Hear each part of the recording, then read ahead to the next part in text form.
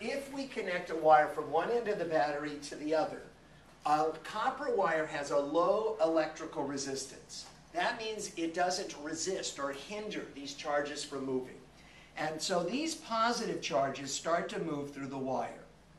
Now in reality, we now know that it's really the negative charged electrons that are moving towards the positive end.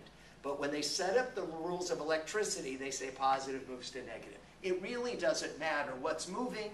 The point is something's moving. Electrical charges are moving. And this movement of electrical charges is called an electrical current. So an electrical current is the movement of electrical charges. There is an electrical current. and in fact, these electrical charges are so excited, the positives are so excited about going to where those cute little negative charges are, that if you uh, were to put a little flashlight uh, light bulb here, if you made the electrical charges go through this filament in this light bulb, it would cause it to glow. You don't have to know that, but that's, anyhow, that, that's called performing work because it's just, uh, it's trying to, these electrical charges want to get from one end to the other end.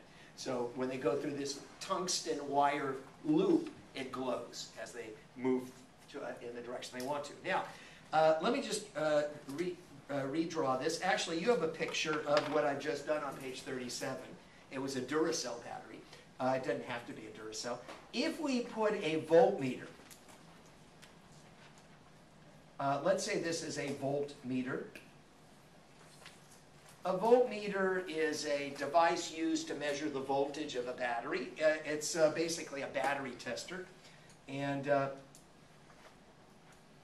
what, they, what we do is we take on a voltmeter, we've got uh, usually a little probe, and we can put uh, uh, one probe at one end of the battery, and the other probe at the uh, opposite end of the battery. These uh, probes are also known as electrodes. That's an electrode. And what the battery tester does is it tells us how big of a difference there is in the electrical polarity between this end and this end of the battery. So it measures the difference in electrical polarity. Measures the difference in electrical polarity. Another way of saying that is the difference in voltage, the difference in electrical potential. All right, now, uh, does anybody know uh, how, what the normal voltage is of the most common batteries? Yeah. In, in, in other words, uh, some of you have a, a, double A battery. Right? Anybody use double A's? Uh, triple A's? A C? A D? They are all the same voltage. Does anybody know what it is? It's 1.5 volts. Now they do make little 9 volt batteries. That's what I'm actually using. I'm using a little, in my microphone, this is a 9 volt. But most batteries that go in, light, in uh, flashlights and most electronic devices are 1.5 volts. So uh, let's say this started out, this is a 1.5 volt battery. Let's say it's a 1.5 uh, volt battery, it doesn't really matter. If we were monitoring this difference in electrical polarity, and if we've got the wire connected, maybe it's a flashlight, we've got the flashlight turned on, what do you think's happening to the voltage of this battery as the uh, positive charges are moving towards the negative charges? What's happening to the voltage? It's decreasing. Everybody knows that as you use a battery, it starts to go from green, really good, and then it starts to head towards yellow, and then it goes to red. The voltage is dropping. Because, why? Because these positive charges are moving toward these cute little negative charges. But the point is, is that we're losing that difference in electrical polarity. And as we lose the difference in electrical polarity, another way of saying that is the voltage is decreasing. Is everybody okay on that? So uh, eventually a battery goes dead. And if you want to, if you have a rechargeable battery, and I just got some of these new rechargeable 9 volts, So then you use the power of uh, electrical power to re-separate those charges. They don't want to be separated, but we can force them to, and that powers, uh, recharges the battery right back up again, and then once we start connecting it and using it, it discharges again. We've been talking about three electrical concepts. We've been talking about what is an electrical potential or voltage. That's a separation of opposite electrical charges. That's what we find in a battery, a separation of opposite electrical charges, and that's why there's a voltage, a difference in electrical polarity. We've explained what an electrical current is. You'd say, what's that? It's when electrical charges move. When these electrical charges are moving, that's called an electrical current. And we've used the term electrical resistance. A resistance is what prevents or hinders uh, an electrical current. It hinders the flow of electrical charges. if you increase electrical resistance, you reduce electrical current. If you reduce electrical resistance, you increase electrical current. So those of you who had physics, you learned something called Ohm's law. And Ohm's law simply takes these three concepts and uh, uh, basically creates a relationship between these three concepts. The electrical current is equal to the voltage divided by resistance. All right? And like any good formula, if you know any two, you can solve for the third. Right? So if you know voltage and resistance, you can calculate the current. If you knew current and resistance, you can multiply current times resistance and determine the voltage. All right? That's called Ohm's law. So uh, that's just a, a relationship. Now, what's this got to do with neurophysiology? Well, it actually is even broader than neurophysiology. In the 1940s, in the 1940s, two very uh, uh, uh, historically important individuals named Hodgkin and Huxley. You don't have to know that. Hodgkin and Huxley were actually trained, they are British, and they were trained as electrical engineers. And what they did, it was actually during World War II, is they were the first ones to insert a microelectrode into a cell and measure the electrical voltage of a cell. They had speculated that cells had an electrical voltage, but they had never been able to measure it. So here's what they did, Hodgkin and Huxley in the 1940s. They took a voltmeter. This is the voltmeter. This is the battery tester. Now, uh, this was a cell, and they actually, the cells they used, it's not really important which cells, but they actually used neurons from a squid, which were very large nerve cells.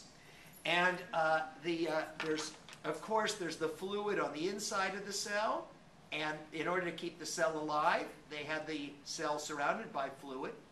So there was the ICF, the intracellular fluid, and the ECF, the extracellular fluid, to keep the cell alive. And the big breakthrough that Hodgkin and Huxley did in the 1940s, they, they had voltmeters, but what they were able to create was really small microelectrodes.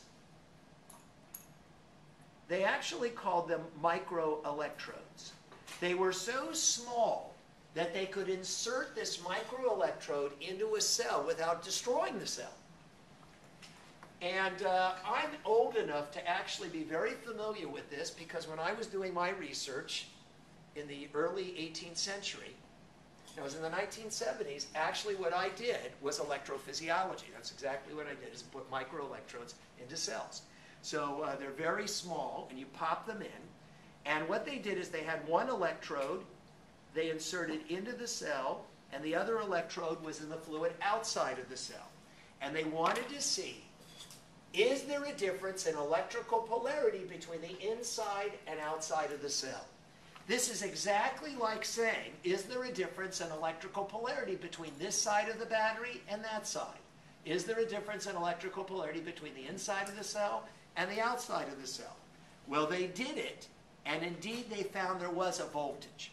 The voltage is approximately 70 millivolts, 70, 80, or 90 millivolts negative on the inside, positive on the outside, meaning there are more negative charges on the inside of the cell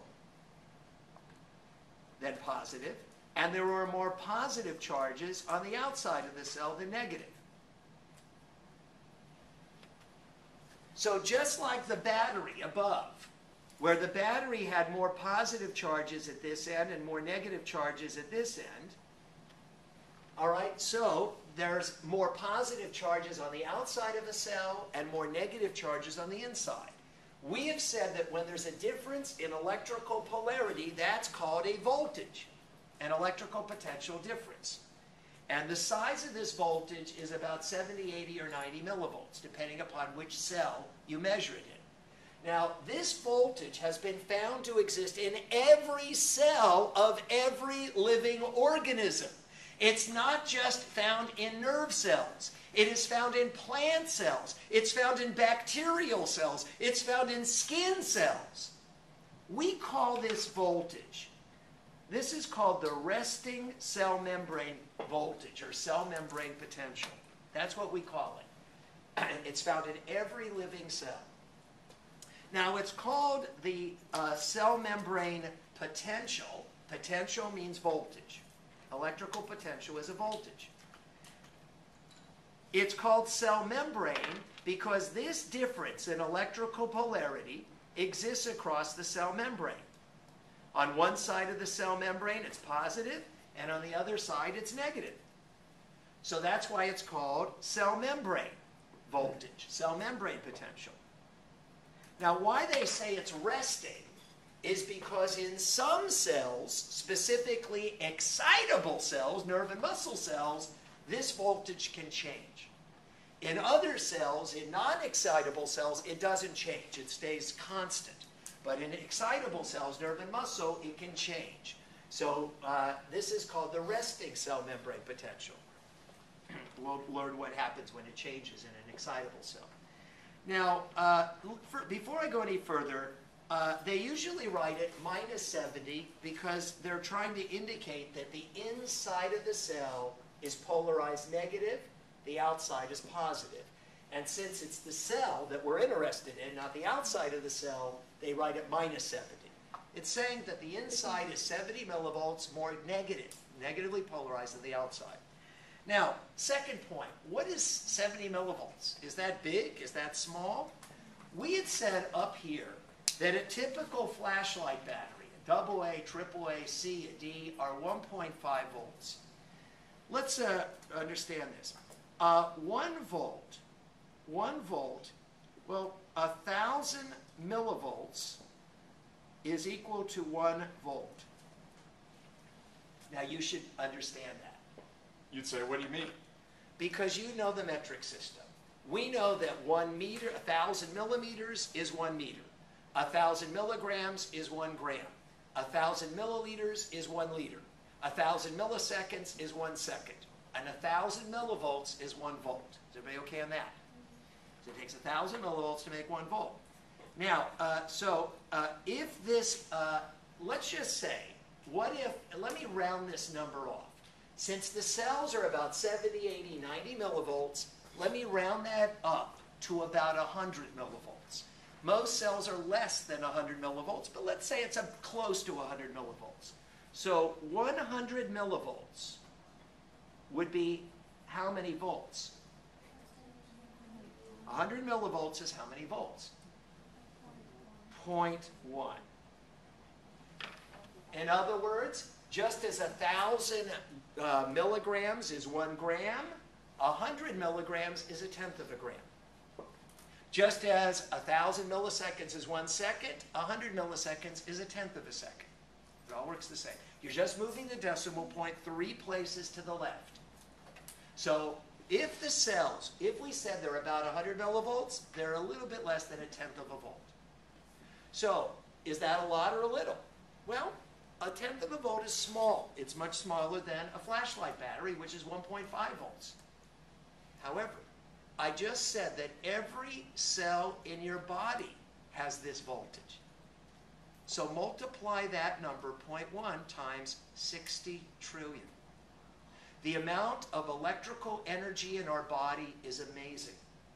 This electrical energy in our body is the basis of powering our nervous system, our muscles, and the electrical activity of our heart. And this is what they monitor when they monitor, do electrocardiogram recordings, electromyogram recordings, electroencephalogram recordings. These are recordings of the electrical energy of our body. So we have an extraordinary amount of electrical energy that we can draw upon. Okay, this is really a, a, a form of energy that's used by the body. So what, now that we've got a sense of the, even though each cell is just a tenth of a volt, there's a lot of cells.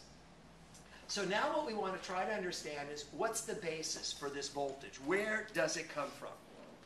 Where does the voltage come from? so uh, the, uh, how do I explain this? We're going to explain it in steps. And uh, this is always a part, it's not that complicated, but students somehow uh, always get a little confused.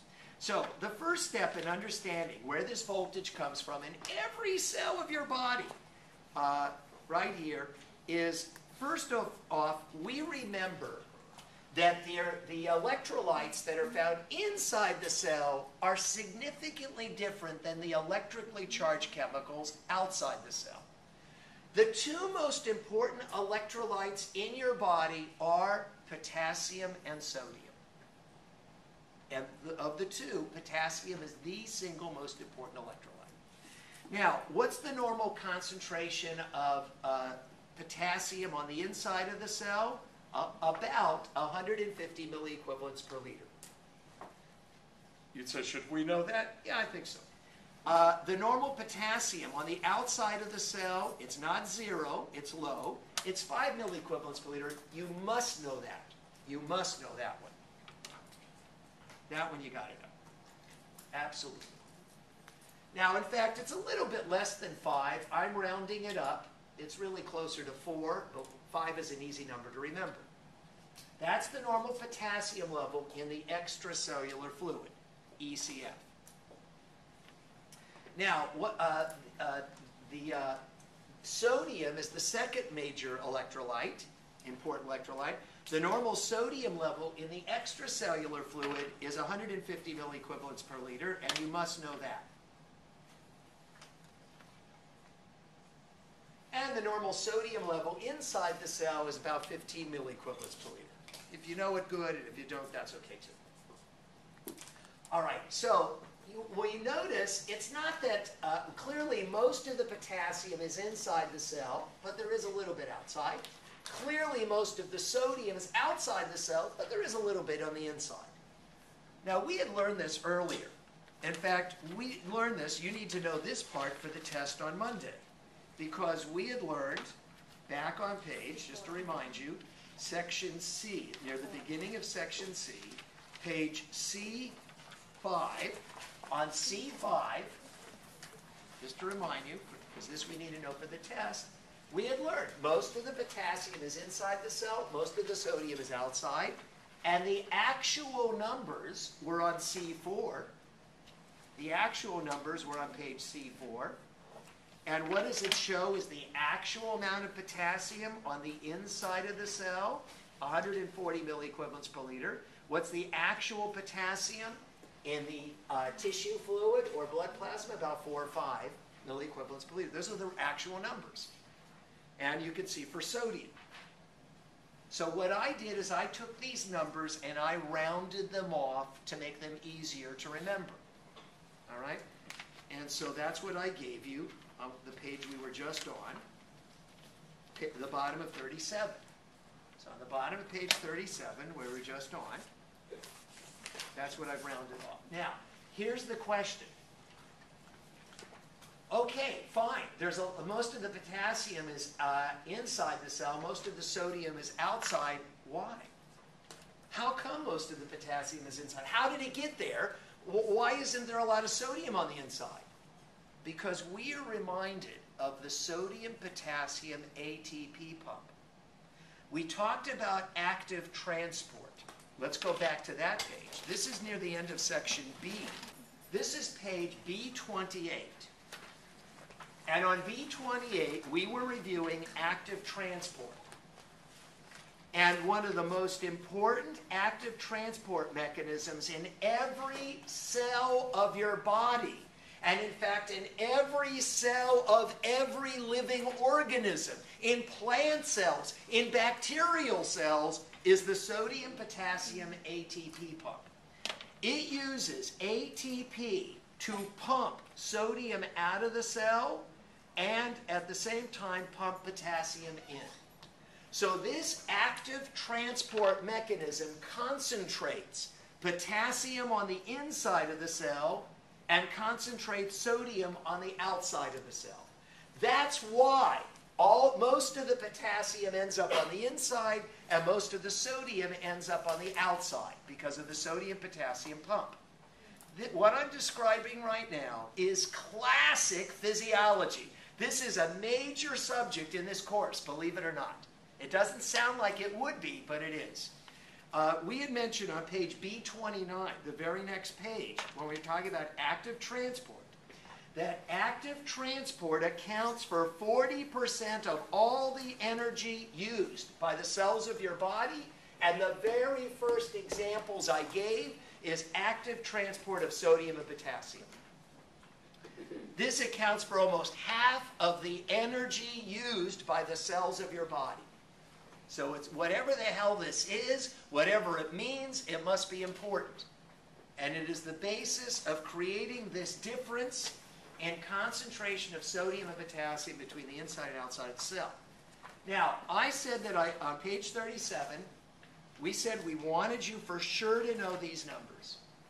And your first thought is, okay, so I got a crazy fanatic physio teacher. I don't understand why I need to know those numbers. Look on the next page. on the next page, on page 38, page 38, this is that lab form, another lab form I stole. it's from Brotman Medical Center, but we could use a lab form from Kaiser or Cedars-Sinai or any of them. This is where they measure the chemicals in the blood. So they measure the sodium and potassium levels in your blood, which is an extracellular fluid. The normal sodium level in your blood is 135 to 155 milliequivalents per liter. The number that I just told you to remember on the previous page, what did I tell you to memorize? The normal sodium level in the extracellular fluid, 150. Is it fair to say that the if the normal range is 135 to 155, it's approximately 150 milliequivalents per liter? So we just asked you to memorize what the normal sodium level is in your blood and all the other extracellular fluids. In tissue fluid, in cerebrospinal fluid, in all extracellular fluids. The normal potassium level in your blood and other extracellular fluids ranges between 3.6 and 5.5. It's really closest to about 4, but the number that I asked you to memorize on the previous page was 5 milliequivalents per liter. These are really important. Every nurse, every single nurse knows these numbers. Honest, they really do. That's how important they are. If anybody has worked in a hospital setting, they are always checking the potassium electrolyte levels. Because as we're going to learn, the potassium levels determine the electrical voltage of every cell in your body.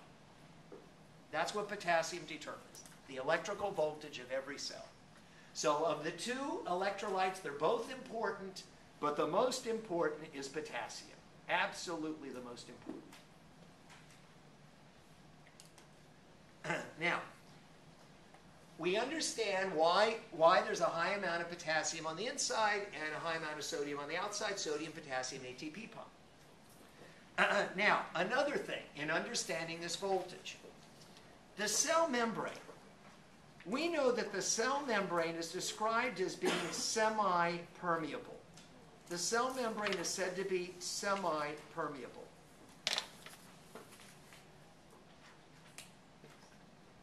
What does semi-permeable mean?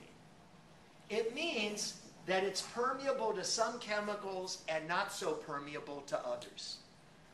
I know you might be saying, I can't look at it. Who, who would understand that? All right, semi-permeable.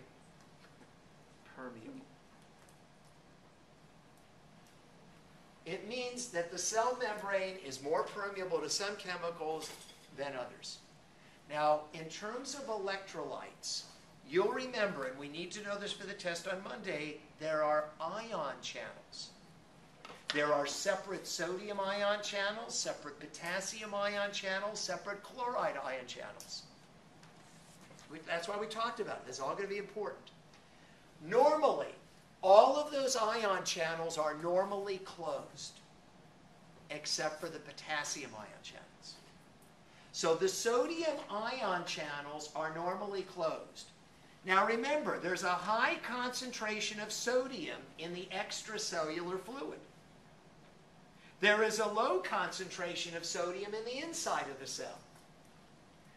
The sodium would like to flow or diffuse into the cell, but the sodium ion channels are normally closed. So I drew a dashed line indicating sodium would like to flow in down its concentration gradient, but it can't get through the cell membrane because the sodium ion channels are normally closed. Not only are the sodium ion channels closed, but so are most of the other ion channels. Now, to represent the negative charges on the inside and outside of the cell, I just wrote A minus. A stands for anions, negative charges. The, what is, does anybody remember, what is the major negative charge Chloride. chemical in the extracellular fluid? Chloride. Chloride. We learned it on page C5. Chlorine. So there's a lot of negative charge chlorine in the outside of the cell. It would like to flow in, but the chloride ion channels are normally closed. What's the major source of negativity on the inside of the cell? Protein. Negatively charged protein. We learned that on C5 and C4. So uh, there's also negative charge phosphate, but the major source is negative charge protein. For sure, proteins are too big to get across cell membranes. Even though the negative charge chlorine would like to go in, negative charge protein would like to go out, they can't get, they can't move. The only ion channels that are normally open are potassium ion channels. And potassium tends to diffuse out of the cell. Now, why would potassium tend to flow out? Because there's a higher concentration of potassium inside than outside the cell. And the ion channel is wide open. As the potassium ions diffuse out of the cell, as the potassium diffuses out of the cell due to the concentration difference, this is my little symbol for delta. The delta is the difference. Okay? The inside of the cell becomes negatively polarized. We're going to look at 40A. 40A, and it looks like this. Let's imagine we had a cell, and it started out with 100 positive charged potassiums on the inside and 100 negative charged chemicals also on the inside. Okay? We don't care what they are, but they're mostly protein. All right? So if there's 100 positive charges on the inside and 100 negative charges, is it electrically neutral? Yeah, it's, it's in balance. Let's say on the outside of the cell there's 100 sodium, positive charged sodiums, and there's 100 negative charges. They're probably chloride. Okay, not that it matters. Is that electrically neutral? All right, so this is electrically neutral on the outside, electrically neutral on the inside. There is no difference in electrical polarity between the inside and outside of the cell. There is no electrical polarity. Is everybody okay on that? Now, so the ions are located inside and outside as shown. Now, imagine, imagine, given, only potassium can move. So even though there's a concentration gradient for sodium to go in, it can't. And these guys might want to move, but they can't. The only one that can move is potassium.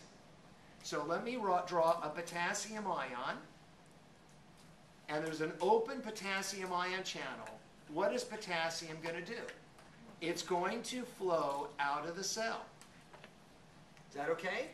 Why is it going out of the cell? Because there's a higher concentration of potassium inside than outside.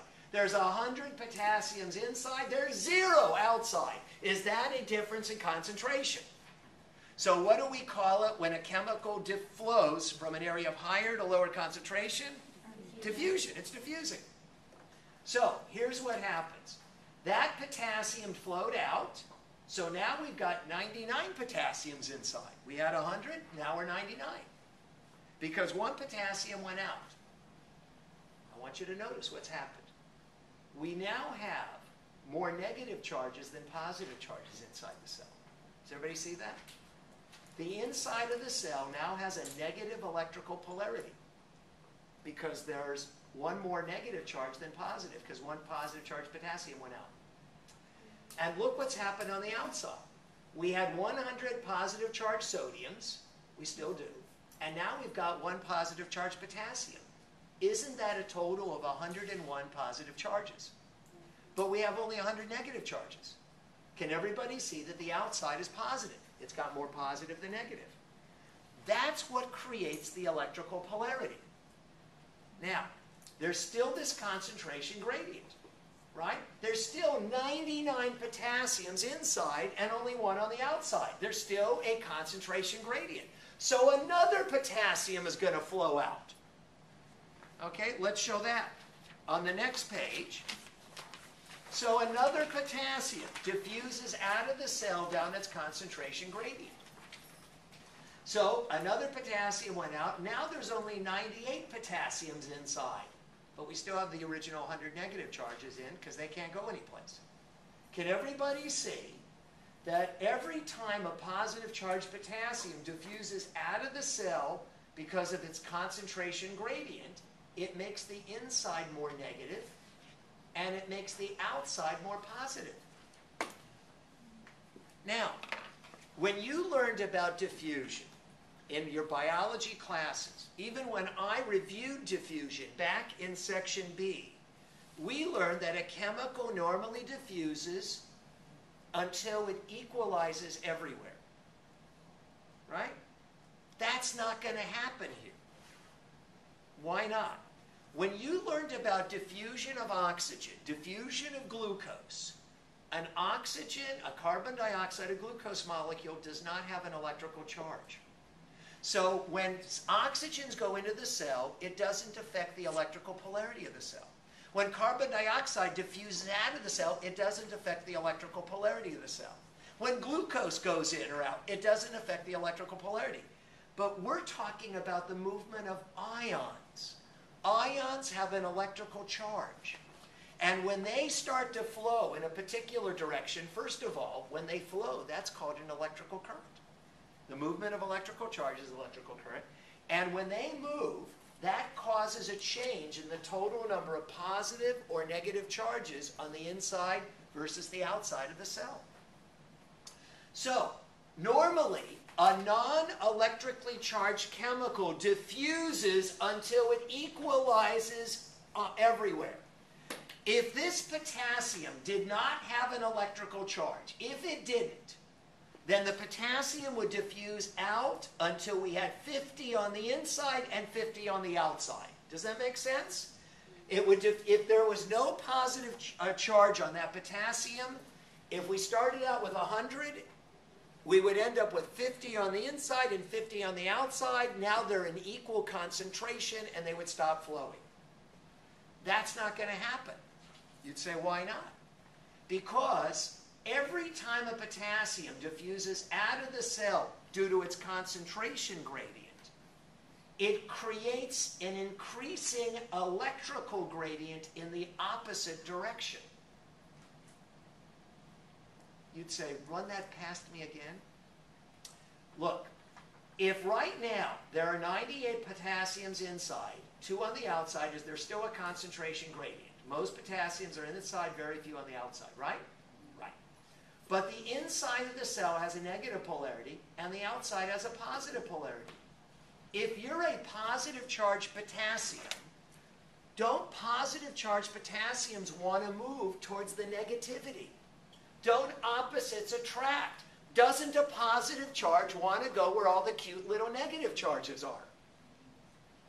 Do positive charged potassiums want to go where there's an excess of positivity?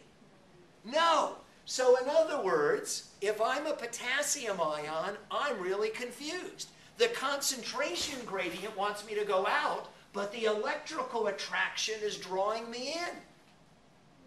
So there are two forces acting on the potassium and not just one. When oxygen diffuses in into a cell, all that matters is the concentration difference. But when potassium is flowing, it depends on both, both the concentration gradient and the electrical gradient. And what we have is the concentration gradient is pushing potassiums out, but the electrical attraction to the negativity is drawing them in. So eventually, the potassium stop diffusing out of the cell because they will never reach that point where there's 50 on the inside and 50 on the outside because the electrical attraction drawing potassiums back into the cell becomes as strong as the concentration gradient pushing them out. Now, I've tried to explain the, the, how this voltage is created using very simple numbers. 100 potassiums started out on the inside, and then some, uh, some of them flowed out and most of them stayed in. What are the real numbers? The real numbers are not the numbers I just gave you. The real numbers, and I'll just say this and we'll take a break. Here's the actual numbers. Most of the potassium is in the cell. It's not 98 potassiums. It's a concentration of 150 milliequivalents per liter. That's the normal concentration of potassium on the inside of the cell. I just said 98 because it was easy to say. This is the real number. Now, the real amount of potassium on the outside of the cell is not two potassiums. It's 5 milliequivalents per liter. That's the normal potassium level in the blood and extracellular fluids. Now, notice that we've got sodium ion, I'm sorry, potassium ion channels that are wide open. Most of the potassium is inside the cell. The question is, if there's this big concentration difference, where most of the potassium is inside, much less is outside, why aren't all the potassiums continue to float, diffuse out? Because there is an opposite electrical gradient in the opposite direction. Uh, the negative polarity, the negativity on the inside of the cell, how strong is it? It is about 70, 80, or 90 millivolts negative. When the inside of the cell is negative 90 millivolts, that electrical negativity is strong enough to prevent any more potassiums from flowing out due to the concentration gradient. In other words, this concentration gradient pushing potassiums out is balanced by an equally strong electrical gradient drawing them in. So no more potassiums diffuse out of the cell. This state that we're talking about is known as the equilibrium state.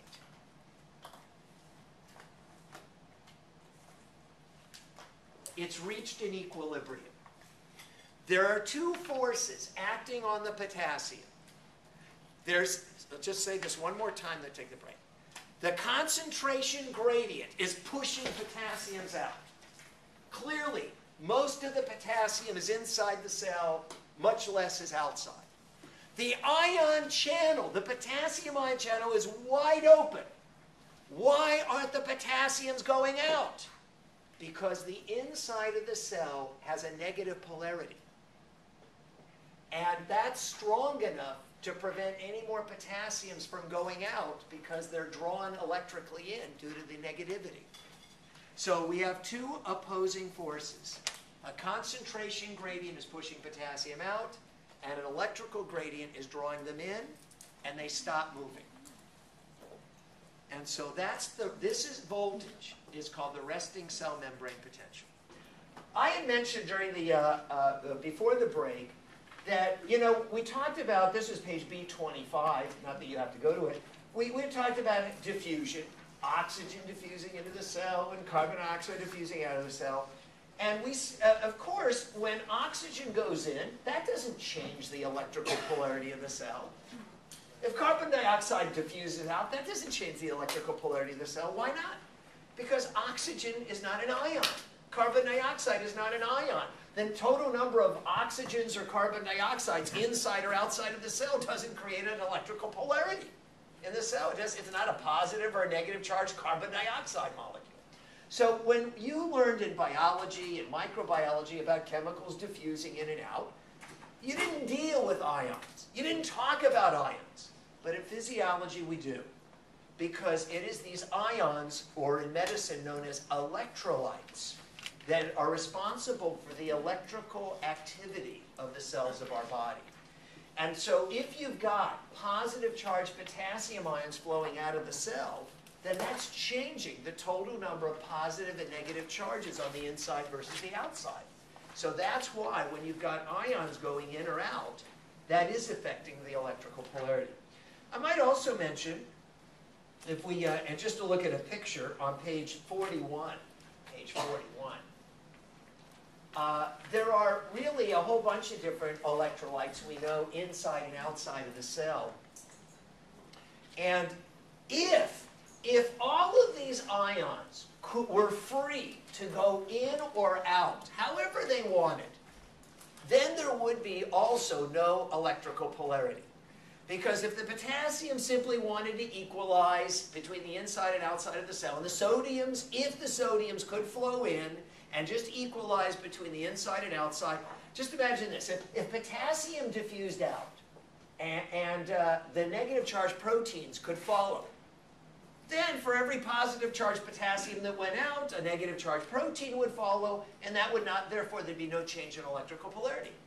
The reason why we get electrical polarity is because we've got all these different kind of electrically charged chemicals, but only one of them can move. So that means that, that the way one of them moves, which is potassium moving out, is going to affect the total number of positive and negative charges on the inside and outside of the cell. Let's take a look uh, on page 38 again. So page 38, we see that there's these various electrolytes, electrically charged chemicals.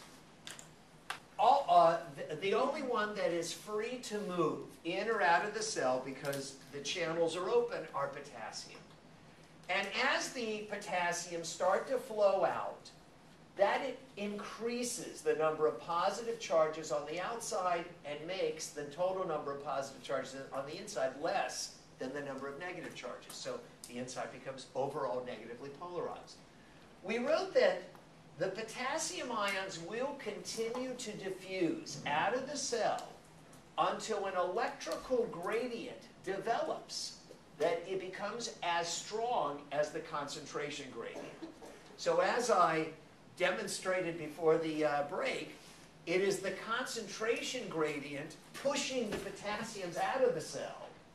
But as more and more go out, that creates a negativity on the inside that starts to attract them back in. So they reach a point where they stop flowing out or in. There's, this is called an equilibrium state. This is shown on page 39. This is called an equilibrium or steady state potential. Even though there's still a concentration gradient, most of the potassium is still inside the cell, 150 milliequivalents per liter. Uh, There is a little bit of potassium that has diffused out, about 5 milliequivalents per liter. But there is an equally strong uh, electrical gradient uh, attracting positive charged potassiums in because the inside of the cell is about minus 70, minus 80, minus 90 millivolts negative on the inside. So they stop. Overall, there's no further net change or net movement. Uh, now, uh, if, if the amount of potassium were to, on the outside of the cell, start to increase or decrease, that would change this balance.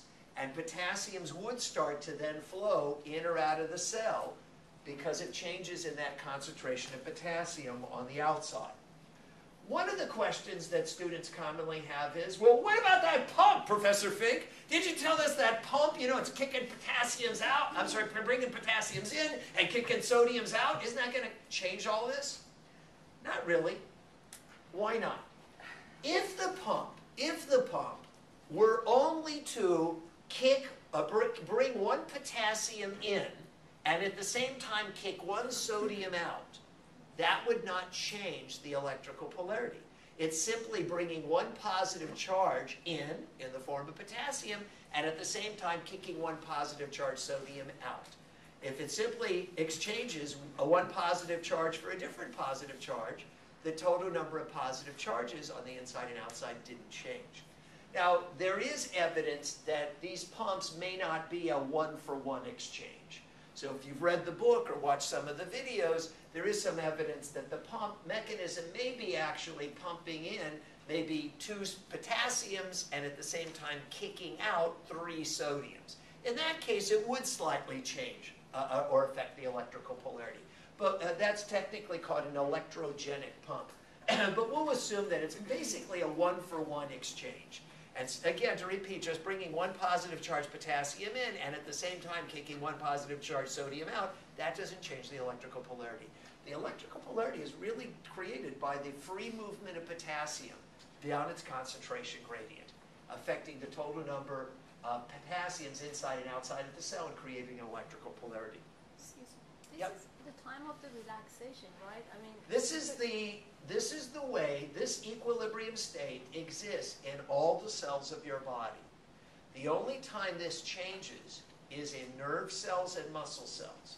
It does not in liver cells and uh, uh, pancreas cells and skin cells. This is the electrical polarity all the time, all the time. But not in Nerve cells and muscle cells, they're going to change because these other ion channels like sodium can open up. And when those, those open up, then we start to get movement of ions into the cell that's going to change this electrical polarity. So we're going to get into that. Now, uh, I want to look at the lower half of the page. Now, before you faint, I am not going to test you on this. Many of the books have this. Many of the books have this in, in the book. Uh, I'm just going to walk you through this real quickly. I will not test you on it. You say, well, if you're not testing this, let's just move on. Most of us don't like math, but there's some of us who do. I'm not even saying it's me. I know that there's some people who actually, if they just see a clear formula, it, they actually understand it better than reading a whole lot or hearing a long lecture.